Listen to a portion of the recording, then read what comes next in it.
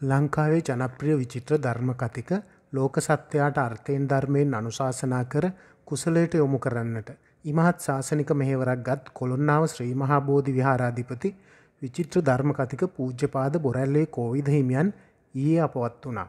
කලක් අසනීප තත්වයෙන් පසු උන්වහන්සේ කොළඹ පෞද්ගලික රෝහලකදී ප්‍රතිකාර ලැබමින් සිටියේදී අපවත් වී ඇත්තේ.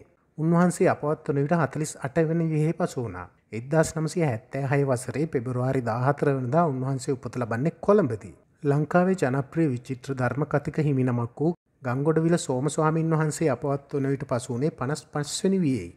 මෙවන් ධර්මදර ජනසිත ඇද බැඳ ගනිමින් සුවහසක් ජනී ජනයා නිවන් මගට යොමු කරමින් මහානීය ශාසනික සේවයක් ඉටු කරන. යතුවරුන් තවත් බොහෝ කාලයක් ඉතුරුව තිබේදී මෙසේ සමු ගැන්ම ශ්‍රී ලංකාවට ඉමහත් පාඩුවක්. බොරැල්ලේ කෝවිද හිමියන්ගේ දේහය පිළිබඳව. ආදාහන පූජෝත්සවේ ලබන අඟහරුවාදා පස්වරු හතරට කොළොන්නාව පොදු සුසාන භූමියේදී සිදු කිරීමට නියමිත බව ආදාහන කමිටුව මේ වන විට පවසනවා.